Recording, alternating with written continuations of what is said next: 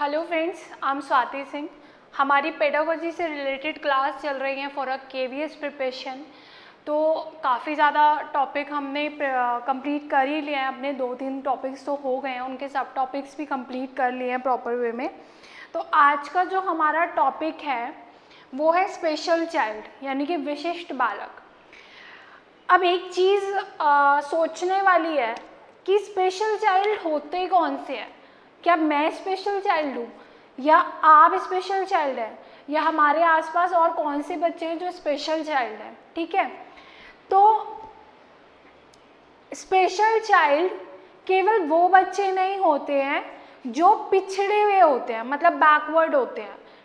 Special child वो बच्चे भी होते हैं जो गिफ्टेड होते हैं मतलब स्पेशल होते हैं। ठीक है?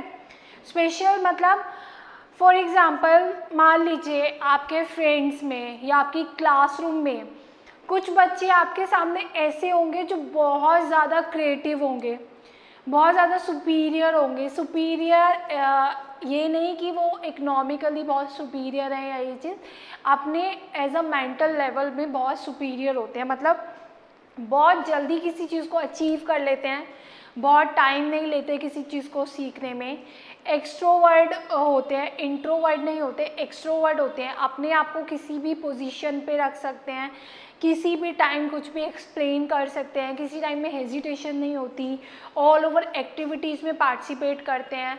क्रिएटिव होते हैं, अपने से ही कुछ ना कुछ कुछ ना कुछ बनाते रहते हैं डिस्कवर्ड होते हैं कि कुछ ना कुछ डिस्कवर करते रहते हैं। एज अ प्रॉब्लम सॉल्वर होते हैं। तो जो जिनको हम बोलते हैं ना एक्स्ट्रा अचीवमेंट बच्चे या एक्स्ट्रा अचीवर्स बच्चे जो होते हैं, वो होते हैं आपके स्पेशल चाइल्ड यानी कि विशिष्ट बालक, ठीक है? एक तो वो हो गए। और सेकेंड होता है आपका, जो मेंटली रिटायर्ड होते हैं, जो मानसिकता कमज़ोरी पाई जाती है जिनमें, जो एक लिमिट से ज़्यादा, जैसे ना हमें एक लिमिट दी गई है कि ये मान लीजिए आपकी बॉर्डर लाइन है। Border line in the sense कि ये नॉर्मल नॉर्मल चाइल्ड्स की है, ठीक है? कि यहाँ पे हमारे सारे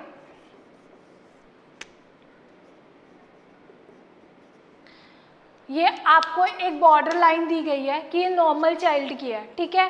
इसमें आपके सारे नॉर्मल स्टूडेंट्स रखे जाते हैं जिनका आईक्यू लेवल और मेंटल लेवल बिल्कुल नॉर्मल है, जो नॉर्मल स्पीड से सीखते हैं। किसी चीज़ में ज़्यादा टाइम नहीं लेते हैं और किसी चीज़ को बहुत जल्दी भी नहीं सीखते, एक नॉर्मल स्पीड में सीखते हैं, जितनी होनी चाहिए। लेकिन इससे एक लाइन ऊपर के जो बच्चे होते हैं, जो बहुत जल्दी अच्छा सीखते हैं, बहुत जल्दी किसी चीज़ को अचीव करते हैं, बहुत ज़्यादा क्रिएटिव होते हैं और उनका माइंड काफ़ी शार्प होता है और एक ही बार में उनको चीज़ें समझ आ जाती है, जिन, जो, जिनका आई हाई आईक्यू लेवल होता है, ठीक है? वो एक लाइन ऊपर हो गए, उनको क्या बोलते हैं? जैसे सुपीरियर बच्चे हो गए। या फिर एक्स्ट्रोवर्ड हो गए और स्पेशल चाइल्ड हो गए, ठीक है? ये आपके आ गए स्पेशल चाइल्ड कि बहुत ज़्यादा सुपीरियर हो गए। ओके और सेकंड आता है नॉर्मल से नीचे वाले बच्चे, जो मेंटली रिटायर्ड होते हैं।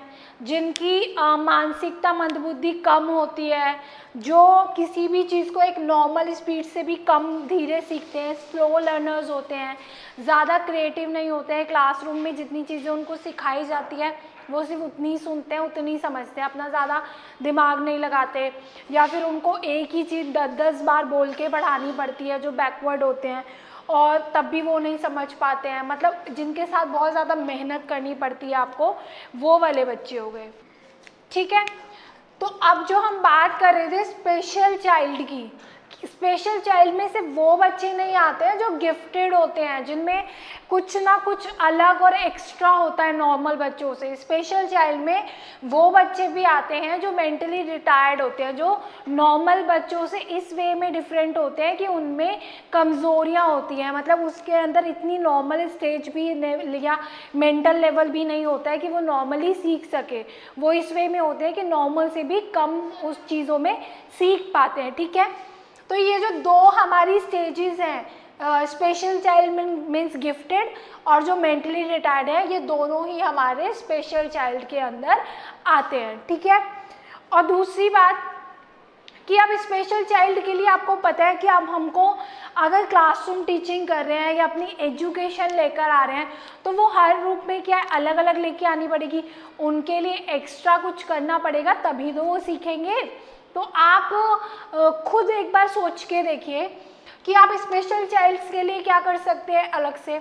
आप स्पेशल चाइल्ड जो गिफ्टेड बच्चे हैं जिनको कुछ ज़्यादा ही भगवान ने आ, मतलब इतना शार्प माइंडेड करके भेजा है पहले से ही उनको और मोटिवेट करने के लिए आप क्या कर सकते हैं? और जो मेंटल रिटायर्ड बच्चे हैं जो मतलब मंद बुद्धि हैं या कम सीख पाते हैं उनको मोटिवेट करने के लिए आप और एजुकेशन में क्या चेंजेस कर सकते हैं? ठीक है?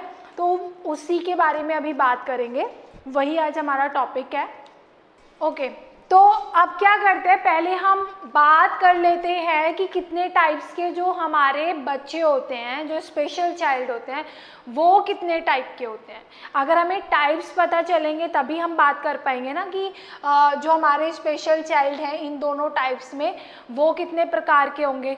तो हम उस पर डिस्कस करेंगे कि कितने टाइप्स के हमारे जो स्पेशल चाइल्ड स्टूडेंट्स होते हैं वो कितने टाइप के होते हैं और उससे रिलेटेड आपको क्या चेंजेस करने हैं उनमें क्या क्या आ, मतलब उनके प्रिंसिपल्स होते हैं या आप उनको कैसे पहचान सकते हैं उनकी कमियों को कैसे दूर कर सकते हैं। एज अ टीचर आप उनको कैसे एक नॉर्मल लेवल पे लेके आ सकते हैं ठीक है?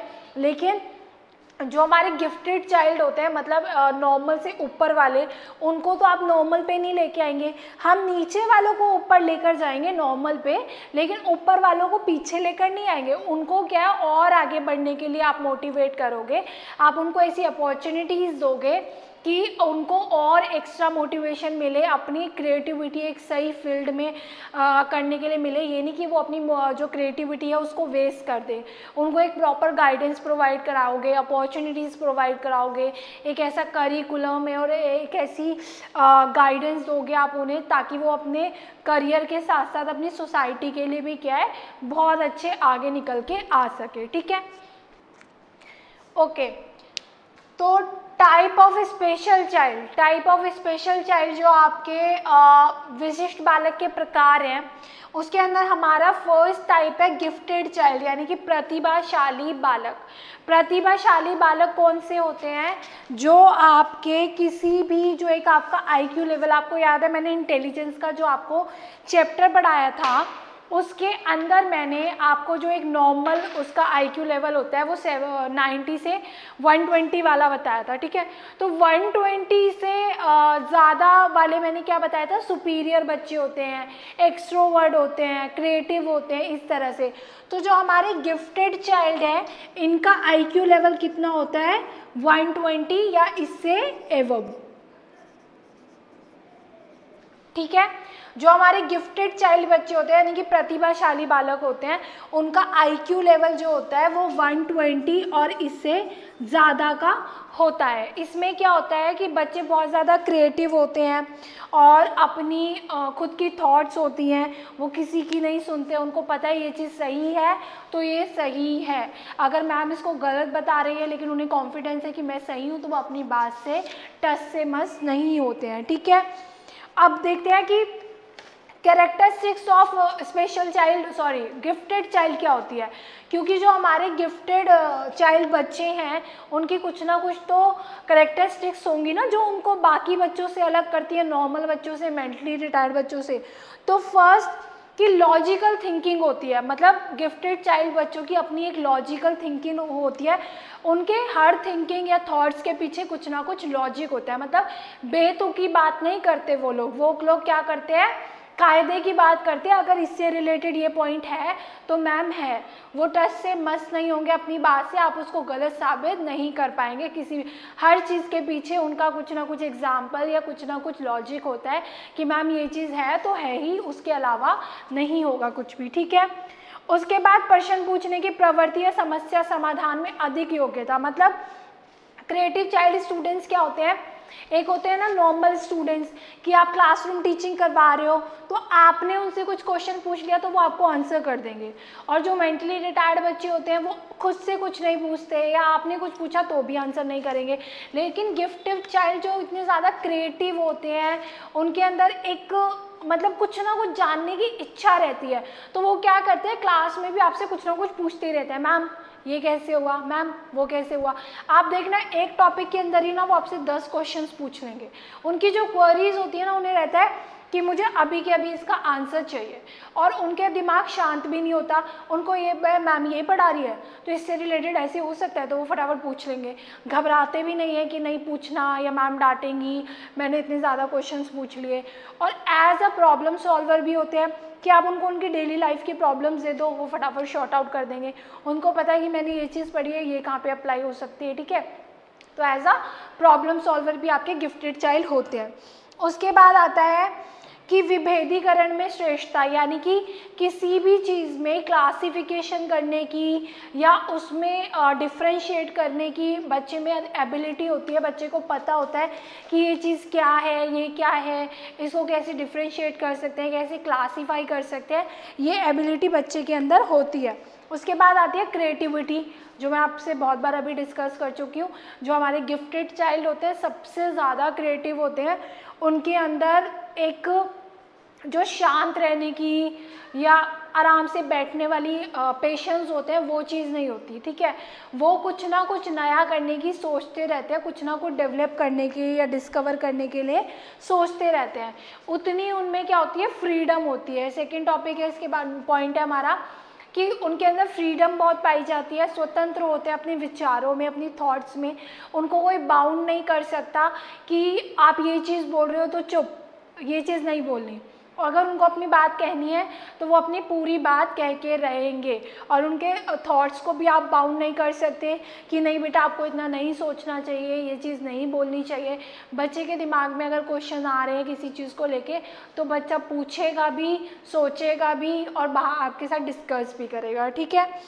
उसके बाद आता है लंबी अवधि तक अकेला रहकर अध्ययन करने की वैर्यता जिसे आपने देखा होगा, जितने भी हमारे साइंटिस्ट रहे हैं, या किसी ने भी किसी चीज़ की खोज की है कि बल्ब का आविष्कार हुआ, और रेडियम का आविष्कार हुआ, या आपके लॉज थे, और ये सारी चीज़ें थे कि न्यूटन के लॉज थे तो उन लोगों में ये क्वालिटी पाई जाती है कि वो अकेले रहकर भी बहुत टाइम तक, सालों तक मतलब डिस्क, किसी पॉइंट को एक के पीछे लगे रहते हैं। एक नॉर्मल चाइल्ड को अगर आप देखें तो उनके अंदर इतने पेशेंस नहीं होते कि वो एक टॉपिक को लेके इतने टाइम तक उस पर वर्कआउट कर सके, अकेले रहकर।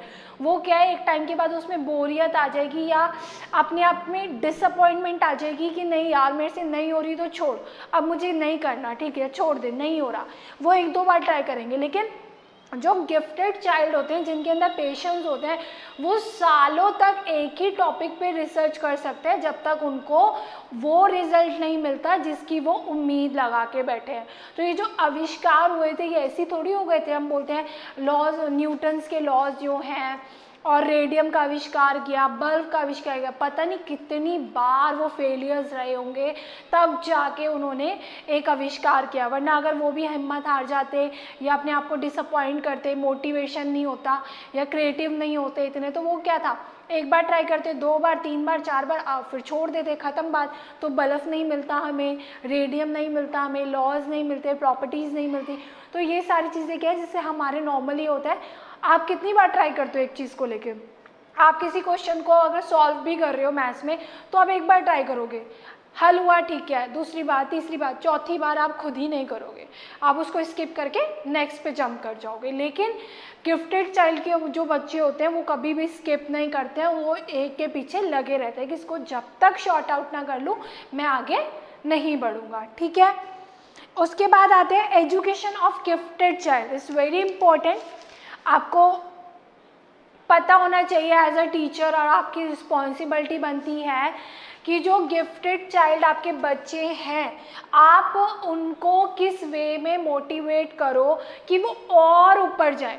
किस वे में उनकी एजुकेशन प्रोवाइड करो? किस वे में उनको गाइडेंस प्रोवाइड करो कि बच्चे और अच्छे निकल के आए या अपनी क्रिएटिविटी को कहीं पे अच्छी फ़ील्ड में यूज़ करें, उसको वेस्ट ना कर दे, ठीक है?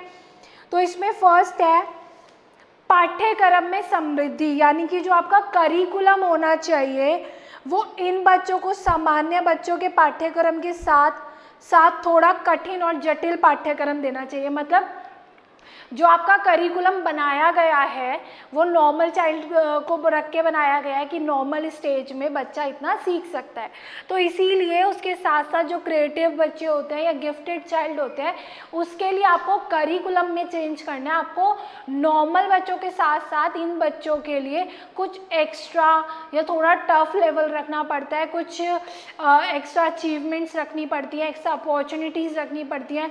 थोड़ा जटिलता यानी कि थोड़ा टफनेस रखनी पड़ती है जिससे बच्चे उसको सॉल्व करने के लिए अपना दिमाग चलाएँ। मतलब ये ना हो, क्योंकि अगर गिफ्टेड है और नॉर्मल चीज़ें आप रख रहे हो तो वो तो एक चुटकी में उसको सॉल्व कर लेगा, उसके तो वो लेवल का ही नहीं है। तो वो उसको क्या है, मज़ा नहीं आएगा सीखने में। वो कहेगा, ये भी कोई चीज़ है, ठीक है एक मिनट में सॉल्व हो गई, आगे बढ़ गया। बाकी क्लास करिए वो आराम से बैठा रहेगा। तो उसको वहाँ पे भी बोरियत लगेगी कि मेरे लेवल का नहीं है। तो आप उसके लेवल के अकॉर्डिंग कुछ टफ चीज़ें इंक्लूड कर सकते हो, जिसमें उसका दिमाग चले, जिसमें बच्चा सोचे कि हाँ ये कैसे शॉर्ट आउट होगी। तो इसीलिए गिफ्टेड चाइल्ड के लिए आप कर, क्या कर सकते हो?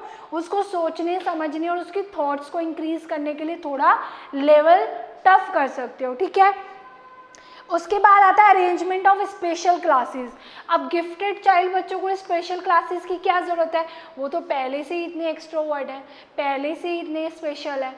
लेकिन अगर आप उन स्पेशल चाइल्ड्स को मतलब गिफ्टेड बच्चों को स्पेशल क्लासेस नहीं दोगे तो वो अपना एडजस्टमेंट नहीं कर पाएँगे सोसाइटी में. मतलब उनको पता नहीं होगा कि अपनी स्किल्स को कहाँ यूज़ करना है. वो शायद उसका, मान लीजिए कोई बच्चा बहुत होशियार है ठीक है?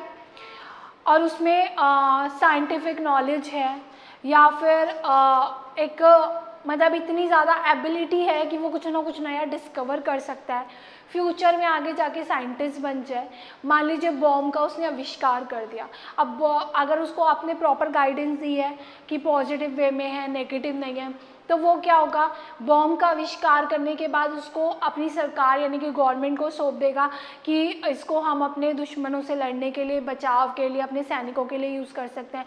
लेकिन अगर मान लीजिए उसके अंदर नेगेटिविटी आ जाती है, उसको प्रॉपर गाइडेंस नहीं मिली तो उसकी वो वाली क्रिएटिविटी क्या है?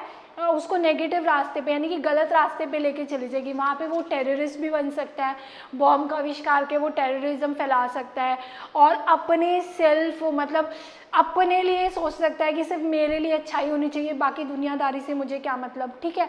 तो ये चीज़ें क्या आती हैं? कि अरेंजमेंट प्रॉपर होना चाहिए स्पेशल क्लासेस आप रख सकते हैं। बच्चे को कैसे एडजस्टमेंट करना है, क्या उसके लिए नेगेटिव है, क्या पॉजिटिव है, उसको गाइडेंस प्रोवाइड करनी है, ठीक है? उसके बाद आते हैं आपके इंस्ट्रक्शन इंस्ट्रक्शन में मैंने आपको बता ही दिया कि बच्चे को समझने में हेल्प करनी है, आपको डायरेक्ट इनडायरेक्ट और सेल्फ डायरेक्टेड बनाना है। बच्चे को ये पता होने चाहिए कि उसके उद्देश्य क्या है, उसको अपनी स्किल्स कहाँ यूज़ करनी है टीचिंग में कैसे करनी है, करियर में कैसे करनी है, सोसाइटी में कैसे करनी है तो उसके लिए इंस्ट्रक्शंस प्रॉपर होने चाहिए, ठीक है? उसके बाद होती है एबल और इफ़ेक्टिव टीचर यानी कि इन बच्चों की शिक्षा के लिए योग्य अध्यापक होने चाहिए। अध्यापक बौद्धिक रूप से समक्ष होना चाहिए।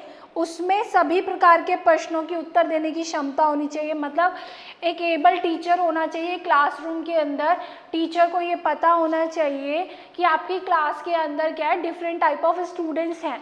उसमें गिफ्टेड भी हैं नॉर्मल भी हैं और मेंटली रिटायर्ड भी हैं। तो आपके सामने अगर नॉर्मल चाइल्ड कोई क्वेश्चन करता है, आप उसका आंसर कर दोगे। लेकिन अगर आपके अंदर इतनी एबिलिटी नहीं है कि एक गिफ्टेड चाइल्ड आपसे कुछ एक्स्ट्रा पूछ ले कि, मैम, आपने ये चीज़ पढ़ा दी। लेकिन अगर ऐसा हो गया तो क्या होगा? या मैम, ऐसा हो सकता है या नहीं हो सकता? तो आपके अंदर वो एबिलिटीज़ होनी चाहिए कि आप बच्चे को प्रॉपर आंसर कर सके, ठीक है? एज अ टीचर आपकी रिस्पॉन्सिबिलिटी बनती है कि बच्चों की इंटरेस्ट और एक जो क्रियोसिटी होती है, जिज्ञासा होती है, आप उसको शांत कर सके। जब तक आप गिफ्टेड चाइल्ड स्टूडेंट्स की क्रियोसिटी को शांत नहीं करेंगे, तब तक क्या बच्चों के अंदर ना ये चीज़ आपके टू वर्ड्स क्या होगी? नेगेटिव ले जाएगा कि मैम को कुछ नहीं आता। मैम तो बस ऐसे ही आती है, पढ़ाती है, चली जाती है, सिर्फ़ बुकिश लैंग्वेज सोच के ले मतलब पढ़ा के चली जाती है, ठीक है? तो इसीलिए टीचर को खुद में इतना एबिलिटीज़ होनी चाहिए, इतनी एबल होनी चाहिए कि वो किसी भी प्रकार के क्वेश्चंस का आंसर कर सके बच्चों को, ठीक है? स्पेशली गिफ्टेड चाइल्ड्स का। उसके बाद आता है education of social experiences and culture अब आपको बच्चे को अपनी सोशल लाइफ उसका कल्चर उसकी संस्कृति से कनेक्ट करना है कि उसको उसकी इम्पोर्टेंस बतानी है, उसकी एथिक्स बतानी है वैल्यूज़ बतानी है, जो उसकी क्रिएटिविटी है, कि उसकी सोशल लाइफ में लाइफ में वो कैसे एडजस्ट करे, ठीक है? अब आपको गिफ्टेड चाइल्ड की एजुकेशन भी पता चल गई कि एजुकेशन किस रूप में देनी चाहिए हमें गिफ्टेड चाइल्ड की, ठीक है? तो फ़र्स्ट पॉइंट आपका बिल्कुल क्लियर हो गया होगा आई होप अब सेकंड पॉइंट आता है आपका, यानी कि सेकंड टाइप ऑफ़ जो आपके स्पेशल चाइल्ड हैं, वो कौन से हैं? वो है आपके backward childs okay second point आता है आपके बैकवर्ड चाइल्ड यानी कि पिछड़े हुए बालक. अब पिछड़े हुए बालक कैसे होते हैं? बैकवर्ड चिल्ड्रंस आपके वो होते हैं जो पढ़ाई में सोसाइटी के अंदर मतलब एजुकेशन में या सोसाइटी के अंदर एडजस्टमेंट में नॉलेज में, अपने बाकी क्लासरूम्स फ्रेंड्स से या अपने कलीग से कहीं ना कहीं पीछे रहते हैं। मतलब मान लीजिए अगर आपकी क्लासरूम के अंदर दस बच्चे हैं तो उसमें एक बच्चा अगर ऐसा है कि बाकी नौ बच्चों का लेवल यहाँ पे है, लेकिन एक बच्चे का लेवल यहाँ पे है मेंटल लेवल उससे नीचे है। तो वो क्या हुआ? पढ़ाई में भी पीछे हुआ सोशल लाइफ में भी पीछे हुआ क्रिएटिविटी में भी पीछे हुआ। सभी चीज़ों में क्या है? पीछे है बाकी बच्चों से। तो वो इन वाले बच्चों से जो ऊपर है, उसके सहपाठी हैं मतलब उसके क्लासमेट्स हैं, उनसे कहीं ना कहीं रूप में पिछड़ा हुआ है।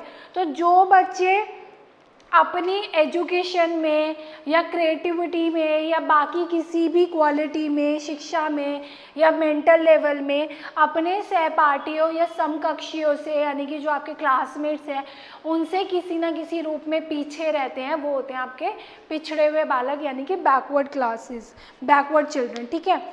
अब टू टाइप ऑफ़ बैकवर्ड आपके चिल्ड्रंस आते हैं। बैकवर्ड चाइल्ड्स आपके कितने टाइप के होते हैं? टू टाइप के होते हैं। पहला होता है आपका जर्नल। ठीक है? आपके बैकवर्ड चाइल्ड्स जो होते हैं, वो टू टाइप्स के होते हैं। एक होता है जर्नल बैकवर्ड चाइल्ड और एक होता है स्पेसिफाइड बैकवर्ड चाइल्ड यानी कि सामान्य पिछड़े बालक और विशिष्ट पिछड़ापन। यानी कि विशिष्ट पिछड़े बालक। ठीक है? अब आपके सामान्य पिछड़े बालक, यानी कि जर्नल चाइल्ड कौन से होते हैं? जर्नल बैकवर्ड चाइल्ड वो होते हैं जब बच्चों में एक ही विषय न आता हो तथा बच्चा जब सभी विषयों में पिछड़ जाए मतलब बच्चे के अंदर कोई भी टॉपिक से रिलेटेड कोई भी सब्जेक्ट से रिलेटेड नॉलेज ना हो और वो जर्नली सभी सब्जेक्ट्स में पिछड़ता हुआ चला जाए। मान लीजिए कि आपने क्लासरूम में आपको पता है आपके सभी सब्जेक्ट्स के अलग अलग पीरियड लगते हैं, ठीक है? तो मैथ्स का है साइंस का है सोशल साइंस का है होम साइंस का है फ़िज़िकल एजुकेशन का है।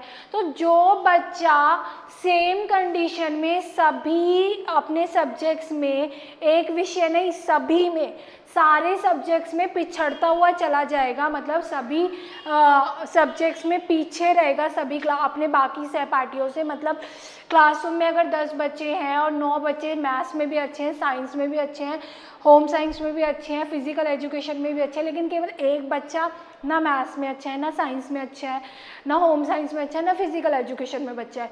तो वो हो गए आपके जर्नल बैकवर्ड चाइल्ड, यानी कि सामान्य पिछड़े बालक जो सभी विषयों में पिछड़ते हुए चले जाते हैं। लेकिन स्पेसिफाई विशिष्ट पिछड़ापन, यानी कि विशिष्ट पिछड़े बालक कौन से होते हैं, जो एक या दो विषयों में पिछड़ापन हो जिनमें, एक या दो विषय में पिछड़ जाए बैकवर्ड रहे। मतलब मान लीजिए ऐसा हो सकता है कि आ, किसी बच्चे को मैथ्स बहुत अच्छी आती है लेकिन साइंस नहीं आती। वो साइंस में बहुत लो है बैकवर्ड है पिछड़ा हुआ है और होम साइंस बहुत अच्छी आती है लेकिन फ़िज़िकल एजुकेशन में लो है। तो उसने क्या किया कि दो सब्जेक्ट्स में तो वो बिल्कुल ऊपर है लेकिन दो सब्जेक्ट्स में बिल्कुल नीचे है। तो मतलब वो वो क्या हो गया आपका स्पेसिफाई यानी कि मैथ्स में अच्छा है और मान लीजिए फ़िज़िकल एजुकेशन में अच्छा है, लेकिन साइंस में अच्छा नहीं है और होम साइंस में अच्छा नहीं है। तो यानी कि ये जो दो सब्जेक्ट्स के अंदर बच्चे बच्चे का पिछड़ापन है तो वो हो गया आपका विशिष्ट, यानी कि स्पेसिफाई पिछड़ापन, यानी कि किसी किसी विषय में पिछड़ापन, ठीक है? अब बात करते हैं कॉजेस ऑफ़ बैकवर्ड चाइल्ड मतलब कारण क्या है? अब आपको पता है कि हमने ये डिस्कस कर लिया कि बैकवर्ड चाइल्ड क्या होते हैं? पिछड़े बालक, जो कहीं ना कहीं स्लो लर्नर्स होते हैं, या सीखने में कोई कमी आ रही है, या अपने बाकी बच्चों से मेंटल लेवल में एजुकेशन में सभी चीज़ में कमी रहती है, ठीक है? अब वो टू टाइप के हैं जनरल और स्पेसिफाई तो उसके कारण क्या है? कोई ना कोई तो रीज़न रहा होगा जो वो पिछड़ गए हैं। तो हम उसको इम्प्रूव कैसे कर सकते हैं? जब तक कारण पता नहीं चलेगा, तब तक हम उसको इम्प्रूव नहीं कर सकते। तो फ़र्स्ट ऑफ़ ऑल हम कारण पे बात करते हैं कि उसके कॉजेज़ क्या है, यानी कि बालकों के पिछड़ेपन के क्या कारण है। पहला कारण है बौद्धिक क्षमता की कमी। यानी कि बच्चों का जो मेंटल लेवल होता है, वो नॉर्मल नहीं होता है। मतलब हो सकता है क्लासरूम के अंदर जो दस बच्चे हैं उसमें से पाँच बच्चों का आईक्यू लेवल तो सेवेंटी से नाइन्टी के बीच है। मतलब नॉर्मल है, सीख सकते हैं। और कुछ का नाइन्टी से ट्वेंटी ये भी नॉर्मल है। और कुछ का हो गया ट्वेंटी से एबव तो मतलब ये तो बहुत ज़्यादा सुपीरियर बच्चे हो गए। तो अब जो बैकवर्ड है, उनका आईक्यू लेवल क्या हो सकता है? थोड़ा कम हो सकता है। तो क्या पता उनका आईक्यू लेवल 40 और 50 या 59 वाला हो। तो इसीलिए एक रीज़न क्या हो गया आपका? बौद्धिक क्षमता, यानी कि मेंटल लेवल हो गया बच्चे के पिछड़ने का, कि शायद उस एक बच्चे का जो पिछड़ गया है क्लासरूम में बाकी नौ बच्चों से, उसका आईक्यू लेवल लो हो बाकी बच्चों से। ठीक है? फ़र्स्ट रीज़न तो ये हो गया। सेकेंड रीज़न आता है वातावरण का प्रभाव, यानी कि आपके एनवायरमेंट का फ़र्क। अब आपके इन्वायरमेंट का कैसे फ़र्क पड़ता है? सबसे ज़्यादा आपका मेंटल लेवल हेरिडिटी जीन्स इन सब चीज़ों के बाद जो बच्चे के ऊपर सबसे ज़्यादा इफ़ेक्ट डालता है, वो आपका एनवायरनमेंट से होता है। एनवायरनमेंट कैसे आपको इफ़ेक्ट करता है? अगर कोई बच्चा, मान लीजिए जो वो एक बच्चा है, कि वो नौ बच्चों से पिछड़ा हुआ है, उसका फैमिली बैकग्राउंड शायद ऐसा हो, जहाँ पे कोई भी एजुकेटेड ना हो। उसके मॉम डैड एजुकेटेड ना हो उसकी सिस्टर कुछ काम करती हो वो एजुकेटेड ना हो उसके भाई बहन एजुकेटेड ना हो उसके दादा दादी एजुकेटेड ना हो तो उसको भी क्या है प्रॉपर एजुकेशन नहीं मिलेगी प्रॉपर गाइडेंस नहीं मिलेगी तो इसीलिए वो भी कहीं ना कहीं एजुकेशनली पिछड़ता हुआ चला जाएगा मेंटल लेवल में भी पिछड़ गया तो ये चीज़ हो सकती है। ऐसा हो सकता है कि जो आ, बाकी नौ बच्चे हैं उनका जो एजुके मतलब सॉरी एनवायरनमेंट है, वो इतना प्रॉपर हो कि वहाँ पे सारे उसके मॉम डैड पढ़े लिखे हो सिस्टर ब्रदर्स अच्छे एजुकेटेड हो तो उनका फ़र्क कहाँ पड़ेगा? उस बच्चे के ऊपर पड़ेगा कि वो भी सारा टाइम पढ़ाई में रहेगा या उसको प्रॉपर गाइडेंस मिलती जाएगी इंस्ट्रक्शन मिलते रहेंगे, उसको करियर काउंसलिंग मिलती रहेगी कि आपको कब, कहाँ पे क्या चीज़ अच्छी करनी है, क्या चीज़ अच्छी नहीं करनी है। तो ये भी एक रीज़न है बच्चे के पिछड़ने का, ठीक है? एनवायरनमेंट थर्ड पॉइंट आता है फ़िज़िकल डिफेक्ट्स यानी कि शारीरिक दोष। इसमें क्या होता है कि बच्चे अपने शारीरिक दोषों के कारण भी पिछड़ते हुए रह जाते हैं क्लासरूम में, कि वो बाकी बच्चों से पीछे रह जाते हैं। अब शारीरिक दोष कौन कौन से हो सकते हैं? जैसे कोई गुंगा होता है, बहरे होते हैं, और किसी में मतलब देखने की ब्लैक बोर्ड की इतनी क्लैरिटी नहीं होती, ठीक से देख नहीं पाते, देखने की क्षमता नहीं होती। कुछ ठीक से सुन नहीं पाते हैं।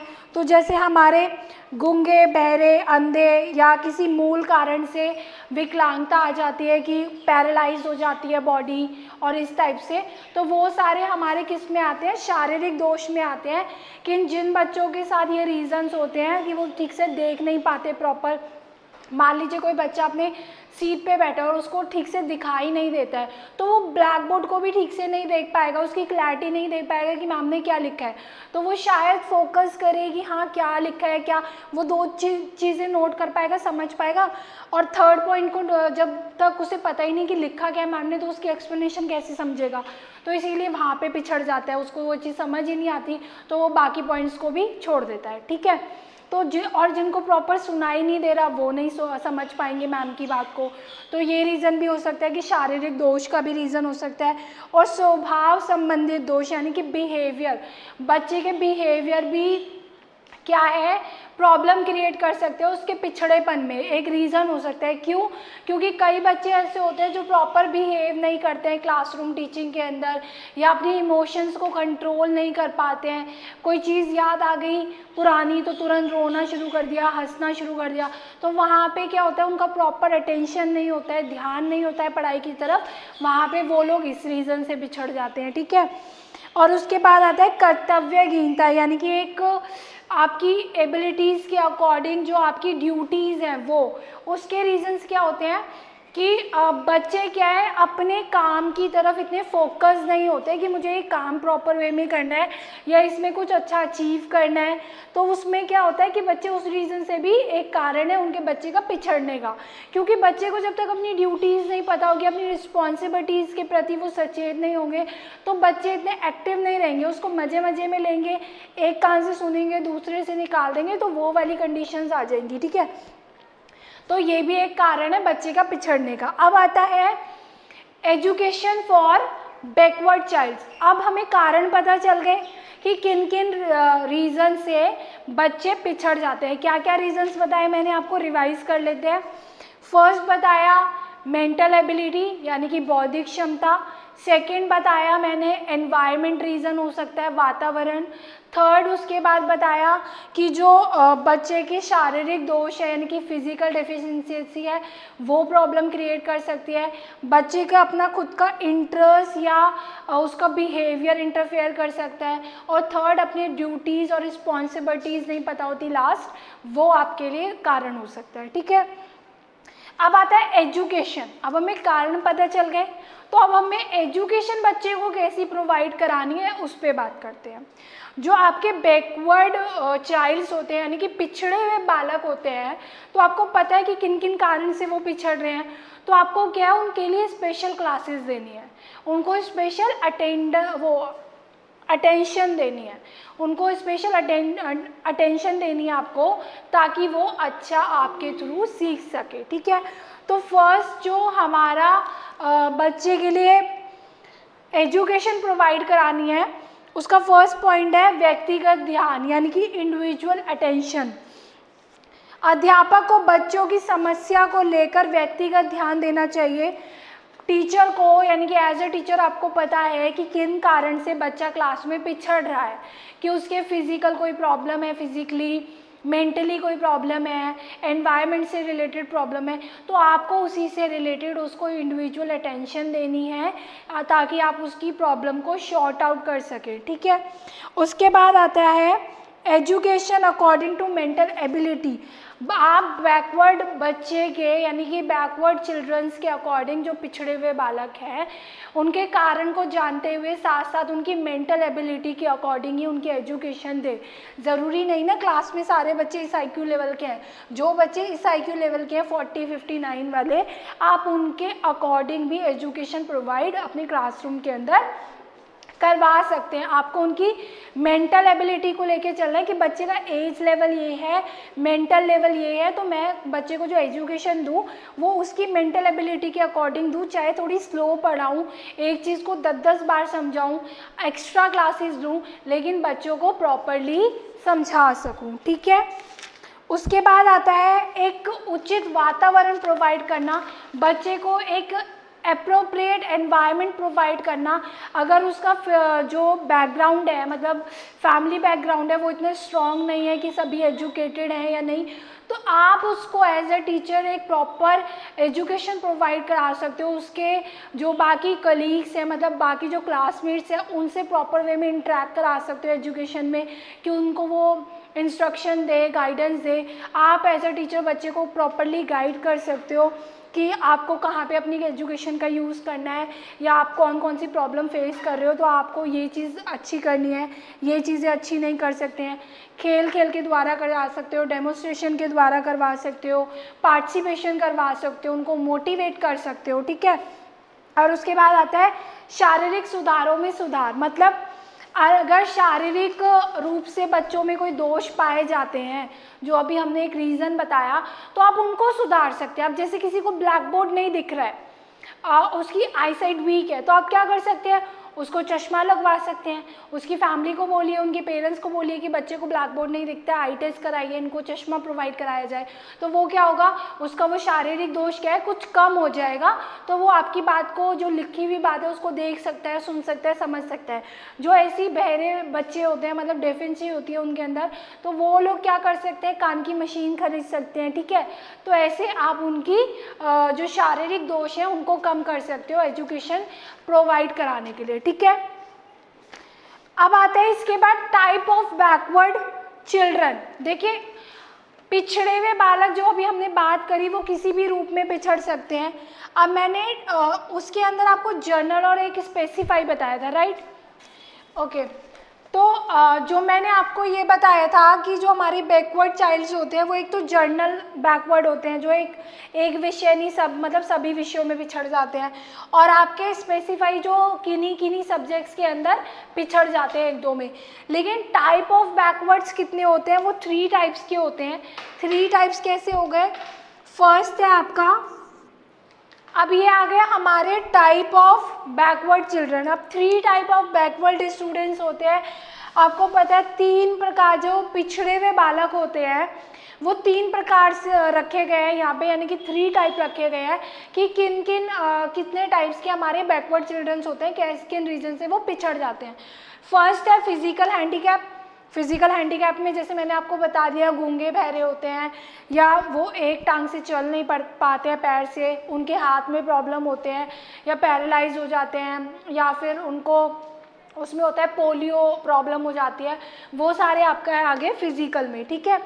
और सेकेंड वन है हमारा मेंटली डिस्टर्ब रिटायर्ड जो बच्चे होते हैं, जिनकी मानसिक जो योग्यता होती है, यानी कि मेंटल एबिलिटी होती है, जो बुद्धिमता होती है आईक्यू लेवल होता है आपका, वो सामान्य से, यानी कि नॉर्मल बच्चों से कम होता है, ठीक है? उसके बाद आ गया इमोशनल डिस्टर्ब यानी कि इमोशनली वीक जो होते हैं, वो भी आपके बैकवर्ड चिल्ड्रंस आते हैं, जो अपने इमोशंस को कंट्रोल नहीं कर पाते, जिनको ये नहीं पता होता कि आपको कहाँ पे कौन से इमोशंस यूज़ करने हैं, कब उनको कंट्रोल करना है, कब फील करना है, कब एक्सप्रेस करना है, ठीक है? वो भी आपके किसमें आते हैं? बैकवर्ड चिल्ड्रंस के अंदर आते हैं। अब इसके बाद थर्ड टाइप बात करते हैं, ठीक है? थर्ड टाइप जो आपका आता है, दो टाइप हमने डिस्कस कर लिए हैं। फ़र्स्ट आपका गिफ्टेड चाइल्ड होता है स्पेशल चाइल्ड में। सेकंड आपका बैकवर्ड चिल्ड्रंस होता है। और थर्ड टाइप है आपका क्रिएटिव चाइल्ड यानी कि सर्जनशील बालक। सर्जनशील बालक कौन से होते हैं? जिनके अंदर अपने, किसी भी चीज़ को लेके अपने थॉट्स होते हैं। अपनी क्रिएटिविटी होती है मतलब जो क्रिएटिव uh, चाइल्ड होते हैं उनका भी जो आईक्यू लेवल होता है वो 120 या 120 से एबव होता है मतलब नॉर्मल चाइल्ड से ऊपर ही होते हैं। और इन बच्चों में क्या होता है हर टॉपिक को लेकर सोचने की जो पावर होती है थिंकिंग होती है वो एक्स्ट्रा होती है एक्स्ट्रोवर्ड होते हैं डाइवर्जेंट थिंकिंग होती है। मतलब अगर मान लीजिए मैं यहाँ पे एक ग्लास रख दूँ और उसको बोलूँ कि अब इसके बारे में बताओ कि क्या है। तो शायद कुछ लोग इसको आधा खाली देखें। लेकिन कुछ लोग हो सकता है इसको आधा भरा हुआ भी देख सकते हैं। तो सबकी क्या है, अपनी सोचने की थिंकिंग है ना। तो इसीलिए जो क्रिएटिव चाइल्ड्स होते हैं, जो उनकी सोचने की शक्ति है, जो थिंकिंग पावर है, जो थॉट्स है, वो क्या है डाइवर्जेंट होती है। वो एक टॉपिक पर सौ तरीके से सोच सकते हैं। और कन्वर्जेंट थिंकिंग वाले कौन से बच्चे होते हैं, जो एक टॉपिक पे एक ही व्यू से सोच पाए?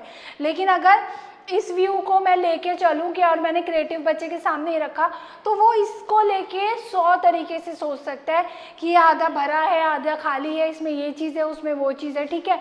तो वो होते हैं आपके क्रिएटिव स्टूडेंट्स जिनका आईक्यू लेवल 120 या 120 से अधिक होता है, ठीक है? अब बात करते हैं करेक्टरिस्टिक्स ऑफ़ क्रिएटिव स्टूडेंट्स यानी कि विशेषताएँ बताते हैं कि क्रिएटिव चाइल्ड के अंदर क्या क्या विशेषताएँ पाई जाती है? क्या क्या करेक्टरिस्टिक्स होती हैं? कैसे बच्चे होते हैं? पहली बात, उनका जो आईक्यू लेवल होता है वो 120 या 120 से ज़्यादा होता है। सेकंड चीज़, किसी भी काम को करते समय हट कर सोचते हैं। मतलब एक नॉर्मल बच्चा क्या है? मैंने आपको जैसे यहाँ पे बता दिया, सबको दिखाएँगे तो शायद एक ही पॉइंट से सोचे कि मैम ये तो आधा खाली है। ठीक है? तो बच्चा क्या है, उसका सेकंड थॉट भी लेके आ सकता है क्रिएटिव कि नहीं, आधा खाली नहीं, आधा भरा हुआ है, ठीक है? तो इसीलिए बाकी बच्चों से क्या है एक्स्ट्रा सोचता है हट के सोचता है। उसके बाद किसी भी चीज़ को जब एक्सप्लेन करेगा तो अलग अलग ढंग से कर सकता है। ये नहीं कि जो चीज़ पुराने तरीके से चली आ रही है, पुरानी विचारधारा है, उसी को लेके बच्चा चले। फॉर एग्जांपल मान लीजिए कि जैसे हम लोग अल्फ़ाबेट्स पढ़ाते हैं, इंग्लिश में A for apple B for ball तो स्टार्टिंग से क्या विचारधाराएँ चली आ रही है कि ए फॉर एप्पल ही पढ़ाया जाता है क्लासरूम के अंदर, ठीक है? तो जो क्रिएटिव चाइल्ड होते हैं मतलब जिनमें सर्जनशीलता होती है तो वो ए फॉर अहमदाबाद भी बोलेगा। वो कहेगा, मैम ए फॉर एप्पल ही क्यों? ए फॉर तो अहमदाबाद भी होता है ए फोर तो आर्टिस्ट भी होता है। ऐसी चीज़ें बच्चा क्या है, और लेकर आएगा क्रिएटिविटी दिखाएगा। अब बच्चे को आप सोचेंगे, ये वर्ड्स कहाँ से पता चले? जब बच्चा इतना डाइवर्जेंट थिंकिंग वाला होता है, इतना क्रिएटिव होता है तो वो क्या होता है, एक रिसर्चर होता है। खुद खुद ना खुद कुछ ना कुछ निकालता ही रहता है, खोजता रहता है, ठीक है? तो अपने थॉट्स रखना, अपनी, अपने आप को प्रेजेंट करना, इस टाइप के जो क्रिएटिव चाइल्ड्स मतलब क्रिएटिविटी चाइल्ड्स होती है बच्चे के अंदर, वो देखी जाती है, ठीक है? उसके बाद संवेदनाशील अधिक होती है मतलब उनके अंदर क्या है? क्रियोसिटी देखी जाती है किसी भी चीज़ को लेके। वो शांत नहीं बैठते। उनको अगर ये चीज़ उनके सामने है तो उसके, उससे रिलेटेड क्या है? दस तरीकों से सोचेंगे, समझेंगे, ऐसी क्यों है, ऐसी क्यों नहीं है, ये क्या है, वो क्या है? उनके अंदर क्रियोसिटी रहती है, हर बात को जानने की जिज्ञासा बनी रहती है, ठीक है? ये हो गई आपकी कैरेक्टरिस्टिक्स ऑफ़ क्रिएटिव चाइल्ड ठीक है? अब बात करते हैं एजुकेशन ऑफ़ क्रिएटिव चाइल्ड। अब आपको पता चल गया कि क्रिएटिव चाइल्ड कैसे होते हैं, कितने स्पेशल होते हैं, उनको कैसे ट्रीट करना चाहिए। अब आप उनको एजुकेशन कैसी प्रोवाइड कराएँगे? जब वो 120 से ऊपर है, जैसे हमने गिफ्टेड चाइल्ड पढ़ा था तो वैसे ही उनको एजुकेशन प्रोवाइड कराएँगे। जैसे प्रतियोगिता, उनके लिए आप क्विज ऑर्गेनाइज करेंगे एक्स्ट्रा को करिकुलम एक्टिविटीज़ ऑर्गेनाइज करेंगे ताकि वो अपनी क्रिएटिविटीनेस को बाहर लेकर आए। डिबेट्स रखेंगे पेंटिंग कंपटीशन रखेंगे डिस्कशन रखेंगे। तो वो क्या होगी? एक टॉपिक के ऊपर जब उनकी विचारधारा या थॉट्स होगी, वो बाहर आएँगी। अपने आप को कैसे एक्सप्लेन करना है, वो चीज़ें बाहर आएँगी प्रेजेंट कैसे करना है, वो चीज़ें बाहर आएँगी, उनके सोचने की पावर इंक्रीज़ होगी, ठीक है? और उसके बाद आप इंडिविजुअली उन पर ध्यान दे के उनकी क्रिएटिविटी को एक अच्छे तरह से मॉडिफाई कर सकते हैं, कि उनको बता सकते हैं कि आप अपने लिए जो भी सोच समझ रहे हैं, उसको आप आगे कहाँ यूज़ कर सकते हैं, कहाँ यूज़ नहीं कर सकते हैं और प्रयोगशालाओं का उपलब्ध कर सकते हैं। यानी कि लेबोरेटरीज़ और लाइब्रेरीज़ और क्लब्स ये सारी फैसिलिटीज़ आप बच्चों को प्रोवाइड करा सकते हैं कंप्यूटर प्रोवाइड करा सकते हैं। तो वहाँ पे भी क्या होगा, जो आपके क्रिएटिव चाइल्ड होते हैं, वो लेबोरेटरीज़ और लैब्स और क्लब्स वगैरह में अपनी क्रिएटिविटी क्या है खुलकर बाहर लाने के लिए ट्राई करते हैं कि वो कुछ ना कुछ एक्सपेरिमेंट्स वहाँ पे करते रहते हैं, ठीक है? ये था आपका थर्ड टाइप अब उसके बाद आता है आपका फोर्थ टाइप ओके अब आपका आता है फोर्थ टाइप जो आपके स्पेशल चाइल्ड्स में आते हैं। फोर्थ टाइप है आपका प्रॉब्लमेटिक चाइल्ड यानी कि समस्यात्मक बालक। अब समस्यात्मक बालक से आप क्या समझते हैं? कि जिनको कोई ना कोई प्रॉब्लम होती होगी, जिनको समस्या होती होगी, वो वाले बच्चे आएँगे इसके अंदर। तो नहीं। इसके अंदर वो वाले बच्चे नहीं आएँगे। इसके अंदर वो वाले बच्चे आएँगे प्रॉब्लमेटिक चाइल्ड्स वो होते हैं, जो दूसरों के लिए प्रॉब्लम क्रिएट करते हैं। मतलब मान लीजिए आप क्लास में कोई टॉपिक से रिलेटेड मतलब कोई कंटेंट कुछ पढ़ा रहे हैं, कोई टॉपिक पढ़ा रहे हैं तो जो बच्चे डिस्टरबेंस करते रहते हैं ना, एक दूसरे को इशारे कर रहे हैं, नाखून चबा रहे हैं टेबल के ऊपर टिक टॉक टिक टॉक कर रहे हैं, या आपस में कुछ घुसर फुसर कन्वर्सेशन कर रहे हैं, या फिर किसी भी चीज़ का शोर शराबा कर रहे हैं, किसी चीज़ को समझ नहीं रहे हैं, झूठ बोल रहे हैं, या फिर क्लास से भाग जाते हैं, या पीरियड्स गोल करते हैं तो वो वाले कौन से स्टूडेंट्स होते हैं, वो आपके प्रॉब्लमेटिक चाइल्ड्स होते हैं, यानी कि समस्यात्मक बालक होते हैं, ठीक है? अब समस्यात्मक बालक की शिक्षा और उपचार अब आपको पता चल गया समस्यात्मक जो प्रॉब्लम क्रिएट करने वाले बच्चे होते हैं, उनको कैसी एजुकेशन प्रोवाइड करानी चाहिए? और उनको क्या रेमीडियल्स देने चाहिए जिससे वो प्रॉब्लम क्रिएट ना करे? वो शांत हो जाए या बाकी बच्चों के साथ एडजस्ट करके चले, उन्हें सपोर्ट करे, उनकी हेल्प करे, ठीक है? तो जो होते ना शरारती टाइप बच्चे, वो वाले बच्चे, ठीक है? अब उनकी प्रॉब्लम्स और उनकी एजुकेशन पे बात कर लेते हैं। घरेलू वातावरण में सुधार। पहला पॉइंट है कि हो सकता है जो ये प्रॉब्लमेटिक चाइल्ड्स होते हैं ना, जो मतलब शरारती होते हैं, इस टाइप की प्रॉब्लम क्रिएट करते हैं क्लासरूम से भाग जाते हैं पीरियड्स कॉल करते हैं तो शायद उनका जो घर का एनवायरनमेंट है वो अप्रोप्रिएट ना हो। मतलब होता है ना, कुछ फैमिलीज़ में कि कलह होती रहती है पेरेंट्स की आपस में रिलेशनशिप्स अच्छे नहीं होते हैं लड़ाइयाँ होती हैं।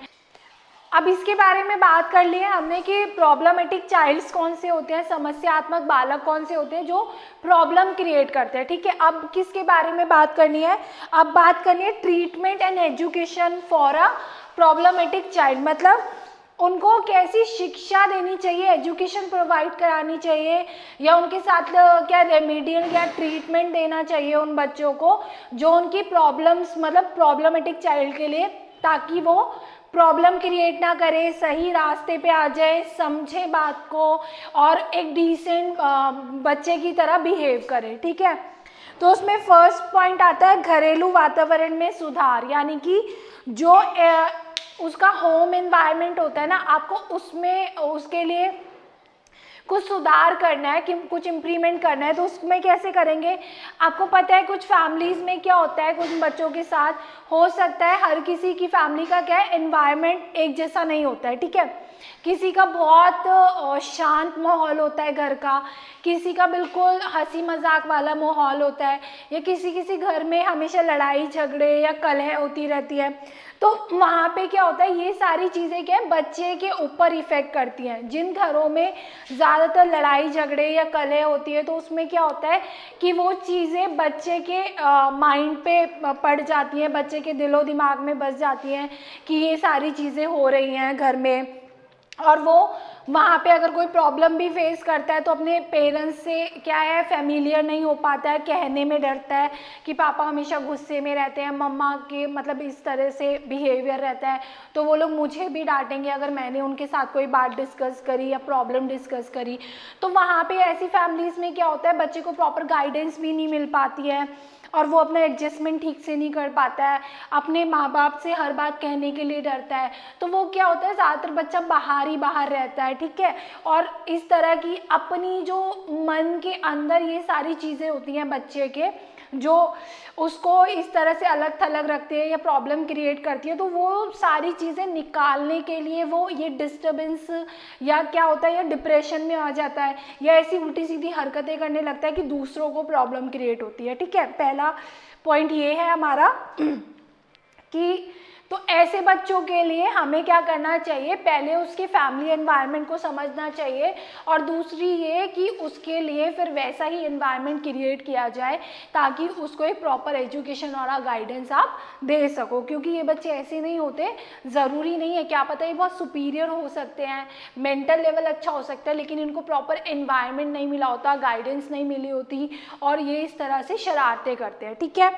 सेकेंड पॉइंट आता है अच्छी अध्यापन विधि, यानी कि गुड टीचिंग मेथड्स आप अच्छे टीचिंग मेथड्स के थ्रू भी बच्चों को टीचिंग प्रोवाइड करा सकते हैं।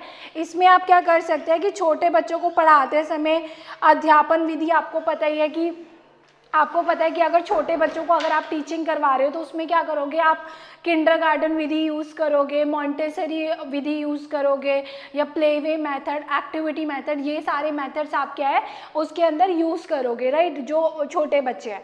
और बड़े बच्चों के लिए आप कौन सी टीचिंग एड्स मतलब कौन से मैथड्स यूज़ करोगे? जो बच्चे के लिए, जैसे कि डेमोस्ट्रेशन हो गया डिस्कशन हो गया, और एक्टिविटी बेस्ड सॉरी एक्टिविटी नहीं आएगा बड़े बच्चों के लिए।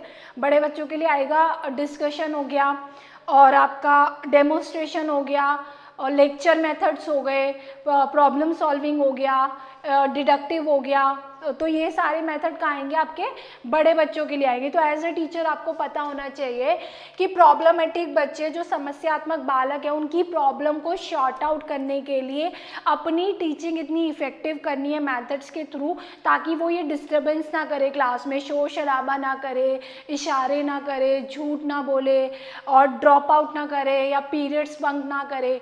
तो उनका इंटरेस्ट डेवलप करना है आपको क्लासरूम में। कि बच्चे एक तरह से सभी के साथ मिलजुल कर पढ़े लर्निंग इफ़ेक्टिव हो सके और बाकी चीज़ें, ठीक है?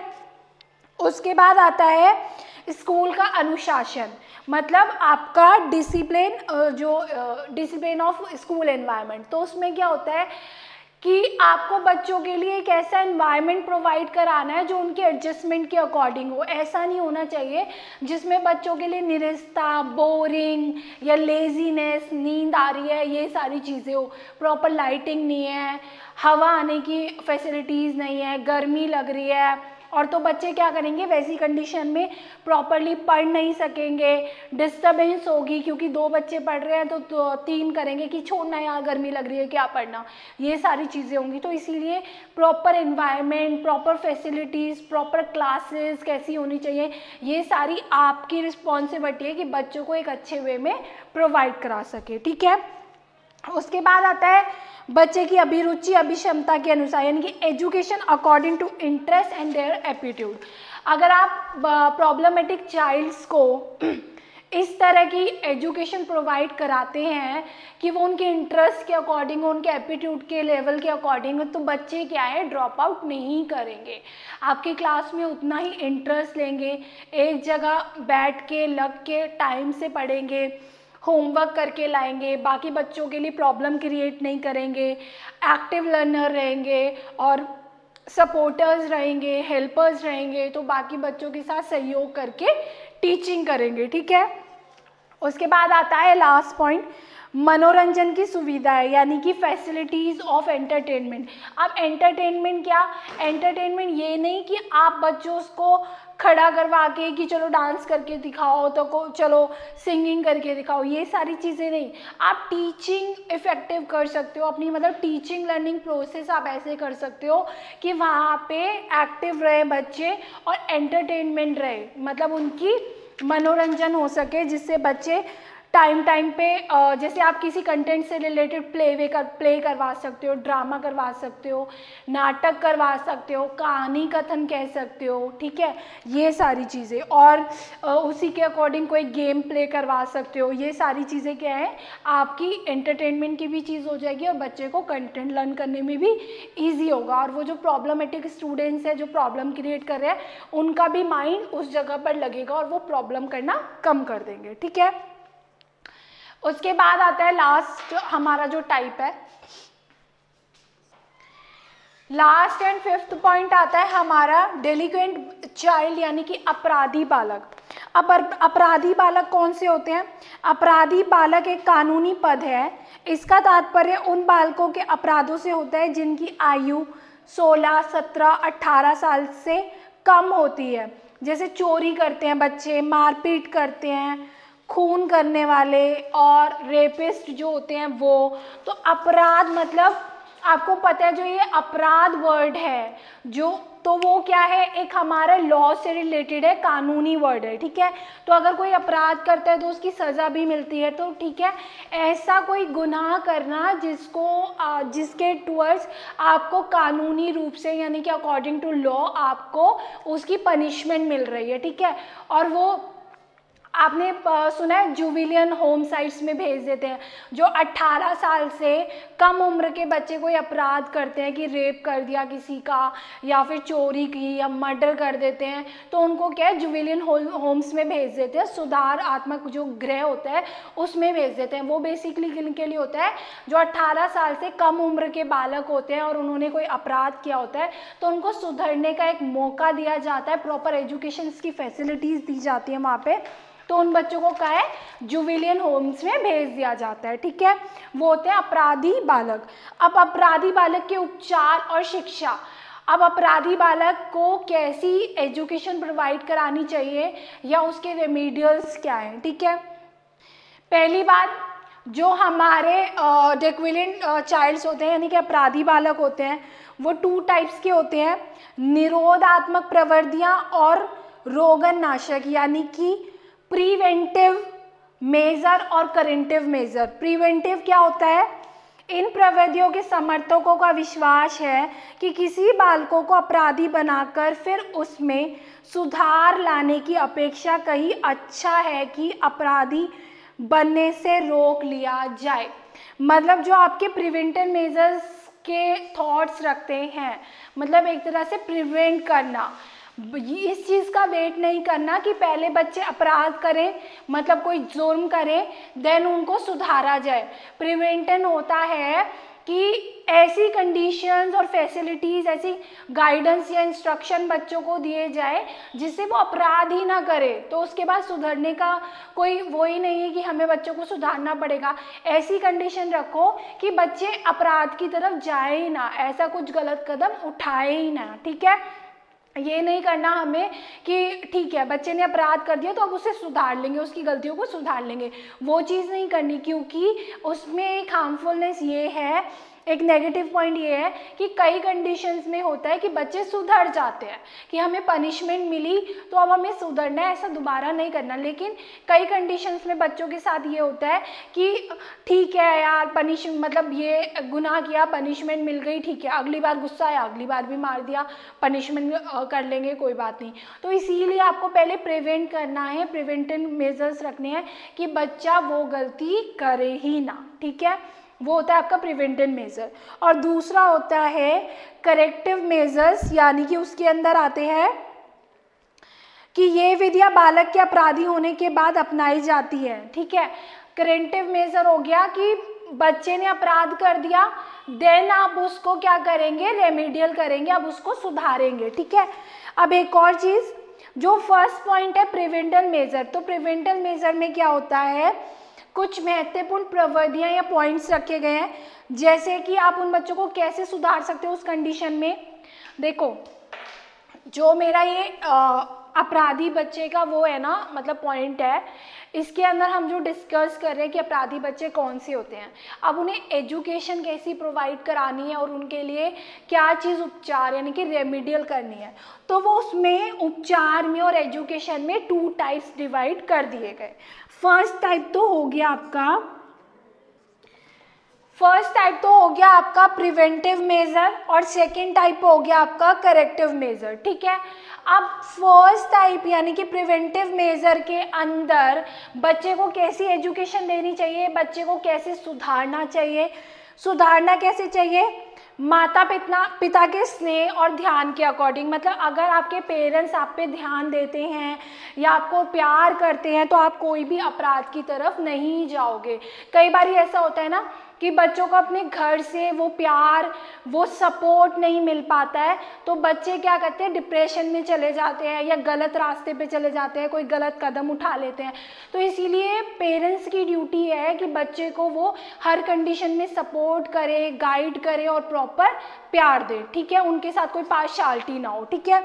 उसके बाद आता है उपयुक्त घरेलू वातावरण, यानी कि अप्रोप्रिएट होम एनवायरनमेंट उनको प्रोवाइड करें, जहाँ पे कलह ना हो, लड़ाई झगड़े ना हो, ऐसी चीज़ें दें प्रॉपर ऐसा एनवायरनमेंट दें जहाँ पे एजुकेशन से रिलेटेड बातें हो सपोर्टिंग हो, और हँसी मज़ाक हो, प्यार हो, ये सारी चीज़ें हो। और उसके बाद उपयुक्त इच्छाओं की पूर्ति।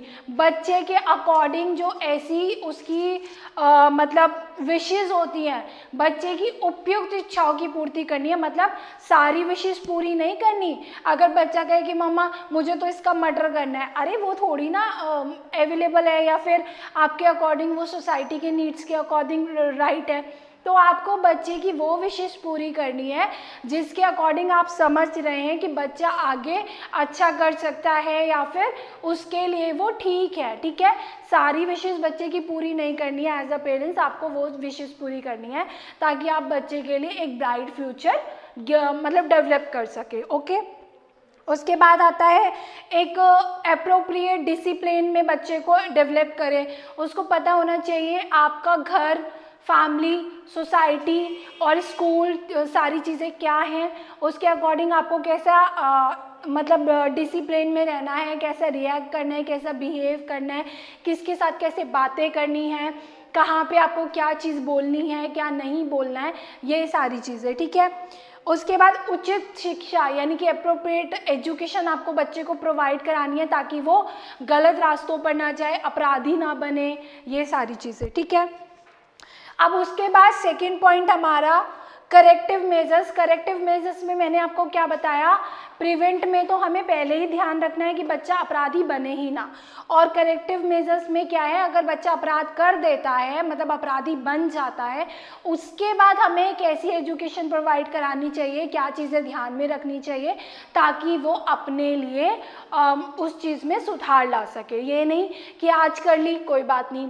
दोबारा भी मर्डर कर लिया, तीसरी बार भी कर लिया, फिर वो मर्डरर ही बन गया, ठीक है? तो वहाँ पे आपको ध्यान रखना है कि एक बार गलती हो गई तो ठीक है, लेकिन नेक्स्ट टाइम ऐसा नहीं होना चाहिए। तो उसके लिए हमें क्या करना है? बालक अपराध न्यायालय, यानी कि जुविलियन कोर्ट सिस्टम होना चाहिए। जैसे मैंने आपको जुविलियन होम्स बताया कि बच्चे को जो भी उसने गलत किया है, उसके अकॉर्डिंग उसे पनिशमेंट मिलनी चाहिए। लेकिन उसके साथ साथ ये चीज़ें भी ध्यान रखी जाए कि इतनी कठोरता नहीं होनी चाहिए बच्चे के साथ कि बच्चा उस चीज़ को नेगेटिव ही ले ले। मतलब वो उसी वे में ढल जाए, अपराधी ही बन जाए, उसमें कोई सुधार ना आए, ठीक है? उसके बाद है साइकोडायनेमिक मेथड मतलब इस विधि के अंदर बच्चों को परामर्श, यानी कि काउंसलिंग के द्वारा अपराधियों में सूझबूझ, समझ उत्पन्न करने का और बिहेवियर को चेंज करने का प्रयास किया जाता है। मतलब आपको साइकोलॉजी के थ्रू जो आपके साइकोलॉजर्स होते हैं, उनके थ्रू आपको एक प्रॉपर काउंसलिंग दी जाए, जिससे आपको बताया जाए कि देखो आपने ये गलती की है तो आपकी गलती करने का आपको ये रिज़ल्ट मिला। और जो बच्चे ये गलती नहीं करते या अच्छे से रहते हैं सोशल लाइफ अच्छे से जीते हैं, अपने सोशल लाइफ में एडजस्टमेंट करते हैं, देखो आज वो कितनी अच्छी लाइफ जी रहे हैं। तो आप दोनों में क्या क्या डिफरेंट हैं? चलो आपने गलती कर दी है तो आप इसको कैसे सुधार सकते हो? अपनी दोबारा से लाइफ कैसे सेट कर सकते हो? एजुकेशन को कहाँ पर यूज़ कर सकते हो? या फिर एजुकेशन आप अपनी फिर से कैसे स्टार्ट कर सकते हो? या आपको अभी भी जुविलियन होम्स में कौन कौन सी फैसिलिटीज़ दी जा सकती है जिससे आप साथ साथ पढ़ाई भी कर सकते हो, ये सारी चीज़ें।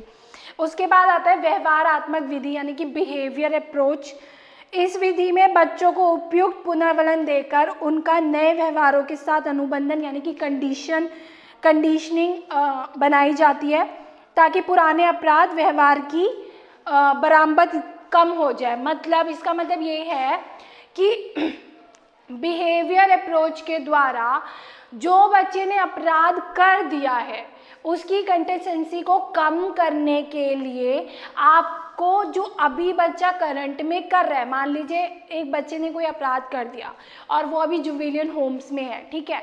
तो वहाँ पे वो क्या कर रहे हैं? एजुकेशन भी ले रहा है। छोटे मोटे अपना होता है ना घर पेट पालने के लिए कुछ काम भी कर रहा है वहाँ पे जेल में, या फिर और कुछ सब बाकियों को सपोर्ट कर रहा है तो आपको हमेशा उसको टोंट नहीं मारती कि ये देखो मर्डर मर्डर करके आ गया, या किसी का रेप करके आ गया, या ऐसी चीज़ें नहीं करनी। वहाँ पे क्या है, उसकी करंट लाइफ से उसको मोटिवेट करना है कि ठीक है, लाइफ में जो हुआ या उस टाइम की जो कंडीशंस थी कि आपके साथ ऐसी चीज़ें हो गई, बट आप अभी बहुत अच्छा कर रहे हो तो उसकी जो प्रेजेंट कंडीशन है, उसका प्रेजेंट जो बिहेवियर है कि वो सबको सपोर्ट कर रहा है, सुधरने की कोशिश कर रहा है, उस चीज़ को, उस कंडीशन को प्रेजेंट लाइफ के साथ कनेक्ट करके उसको मोटिवेट करना है ताकि जो पीछे गलती हो चुकी है उसको वो भूल सके या उसके जो उसकी चीज़ें हैं, उसको मिनिमाइज कर सके अपनी लाइफ से, उसको डिलीट कर सके अपनी लाइफ से, ठीक है? और वो फ्यूचर में आगे बढ़ सके। तो आपको वहाँ पे ऐसी कंडीशंस प्रोवाइड करनी है बच्चों के साथ, ठीक है? उसके बाद आता है पुनरावास विधि, यानी कि रिहेबिलेशंस मेथड इसमें ऐसा वातावरण उत्पन्न किया जाता है जहाँ पर स्वतः ही अपराध ना करने की प्रेरणा, अपराध करने की प्रेरणा से तीव्र होती है। मतलब रिहेबिलेशन मेथड में क्या होता है कि बच्चा खुद को मोटिवेट करता है, खुद को इस रूप में लेकर आता है, जिससे बच्चा कोई अपराध ही ना करे। मतलब आप बच्चे के अंदर इतनी पॉजिटिविटी भर दो, इतनी पॉजिटिविटी डाल दो कि वो नेगेटिव रास्ते पर जाए ही ना। वो इतनी इमोशनली स्ट्रांग हो, इतना अपनी सोशल लाइफ को समझे, इतना अपने पेरेंट्स के बारे में सोचे सोसाइटी के बारे में सोचे, ऐसे अपनी एजुकेशन का यूज़ करे ताकि वो किसी भी कंडीशन में अपराध ना करे। अगर कई बार उसके सामने कुछ सिचुएशन ऐसी हो जाती है कि वो अपराध करने के लिए मजबूर हो रहा है या वहाँ पे उसको वो कदम उठाना ही है तो उस कंडीशन में भी वो खुद को सेल्फ को उस रूप में मोटिवेट कर पाए कि खुद को रोक सके, उसको पता हो कि ये चीज़ सही नहीं है। इस टाइम पे आप, तुम्हें पेशेंस होने चाहिए या इसका कोई और दूसरा रास्ता हो सकता है ताकि मैं इसको रोक सकूँ। केवल ये नहीं कि मर्डर कर दिया या किसी के साथ कुछ गलत कर दिया, चोरी कर ली। आप उसका सेकेंड ऑप्शन भी ढूंढ सकते हो तो इसीलिए रिहेबिलेशन में है कि आप जो थॉट्स आ रही हैं आपके माइंड में अपराध करने वाली, उसके ऊपर सेकंड थॉट्स को हावी कर दो, कि आप उनको पुनरावास कर दो, दोबारा से सोचने पे मजबूर हो जाओ कि ये वाले पॉइंट नहीं अच्छे। मुझे ये वाले पॉइंट्स पे ध्यान देना है, इसके अकॉर्डिंग ही मैं कुछ अच्छा कर पाऊँगा, ठीक है? तो बच्चों के अंदर, अपराधी बच्चों के अंदर आपको ये वाली भावना जो है डेवलप करनी है, ठीक है? अब ये जो हमारा टॉपिक था स्पेशल चाइल्ड अब इसमें मैंने स्पेशल चाइल्ड क्या होते हैं वो भी डिस्कस कर लिया. आपके फाइव टाइप के स्पेशल चाइल्ड होते हैं, वो भी डिस्कस कर लिया. आईक्यू लेवल भी डिस्कस कर लिया उनका. और उनके बच्चों के सबकी पाँचों के पाँचों जो स्पेशल चाइल्ड के टाइप्स बताए हैं, उन पाँचों की एजुकेशन उनकी करेक्टरिस्टिक्स और उनको हम कैसे रेमिडियल दे सकते हैं, वो सारी बातें डिस्कस कर ली. ठीक है? तो इसी के साथ स्पेशल चाइल्ड का टॉपिक फिनिश होता है। ज़्यादा बड़ा नहीं था, छोटा सा ही है। और इससे रिलेटेड कोई भी क्वेरीज हो, कुछ पूछना चाह रहे हो, या कुछ मुझे सजेस्ट करना चाह रहे हो तो प्लीज़ कमेंट सेशन में कमेंट करके बता सकते हैं।